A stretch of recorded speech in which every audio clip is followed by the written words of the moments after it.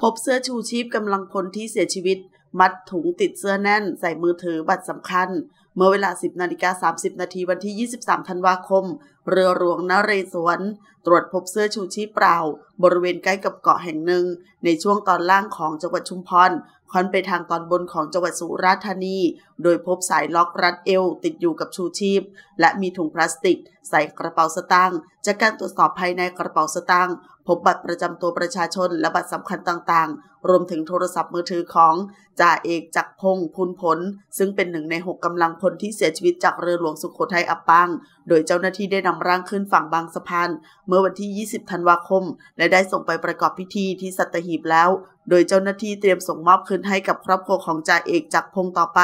นอกจากนี้ส่วนการเข้าค้นบริเวณตามเกาะต่างๆ ทั้งเกาะพิทักษ์และเกาะครามจังหวัดชุมพร ซึ่งผลการตรวจสอบยังไม่พบวัตถุอุปกรณ์ที่เกี่ยวข้องกับการอับปางของเรือหลวงสุโขทัย ขอขอบคุณข้อมูลจากข่าวสดขอบคุณค่ะ